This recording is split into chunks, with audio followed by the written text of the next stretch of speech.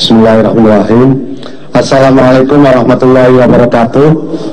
Uh, selamat sore, salam sejahtera untuk kita semuanya. Saya hormati moderator dan para menteri dan ketua Imatkok yang saya hormati juga hadirin yang berbahagia.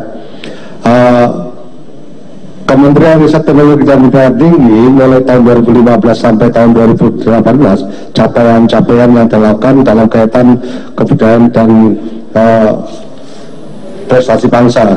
Bagaimana kita pertama pembudayaan terhadap kewirausahaan.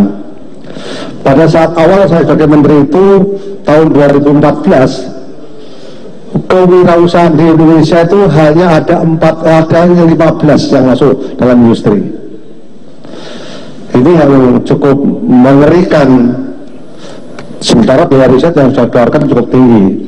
Oleh karena itu dengan hal ini kami akan uh, reformasi dalam birokrasi kami sehingga meningkatkan pada tahun 2015 meningkat menjadi 15, 52 tahun 2016 meningkat 3, 203 tahun 2017 meningkat 661 tahun 2018 meningkat 956 target kami di tahun 2019 adalah 1000 uh, inovator atau dalam hal ini sudah menjadi startup di industri.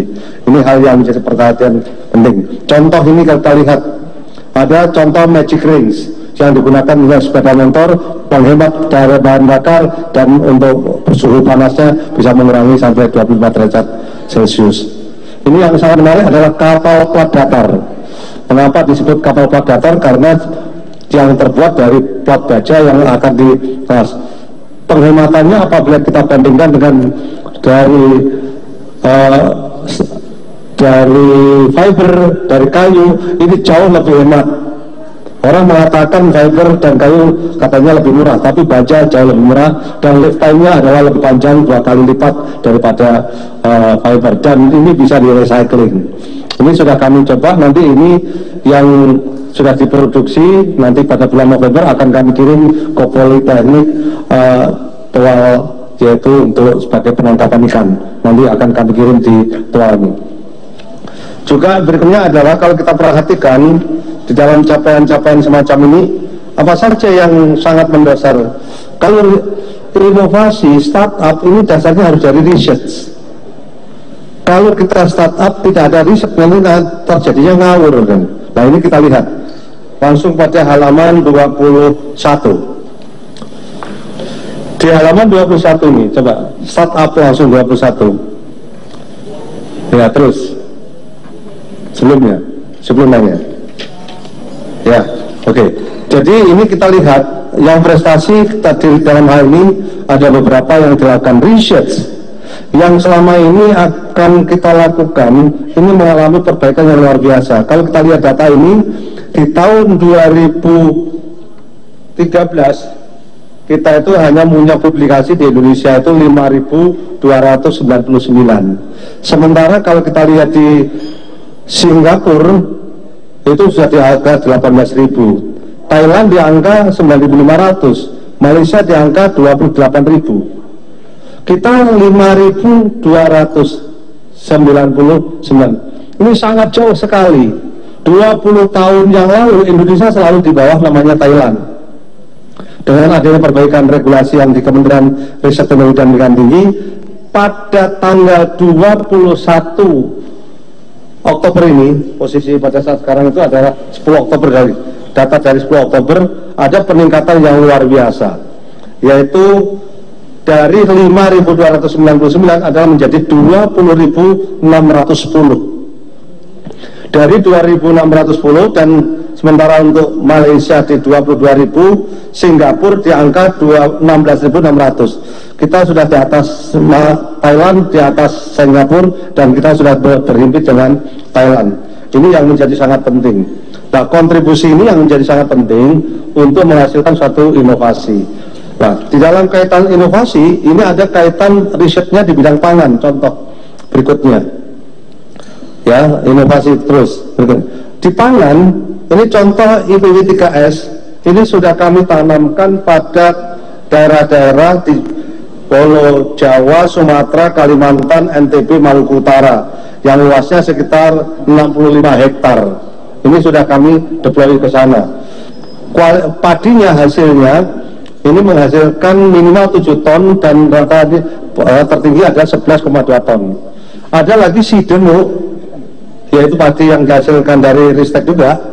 Ini kualitasnya seperti beras rojol ini hasilnya di rata-rata 9,5 yang tertinggi 12,2 ton di Sukoharjo. Ini yang berhasil. Nah sekarang kita lihat riset yang tadi menghasilkan satu inovasi berikutnya.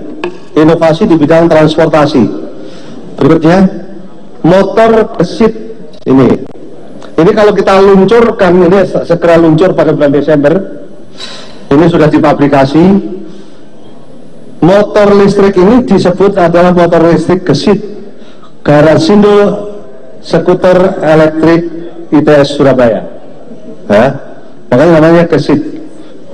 Ini kami sudah uji coba dari Jakarta sampai Den, Bali, Denpasar. Tidak ada masalah. Dan sekarang akan kami launching mudah-mudahan dalam waktu yang dekat ini.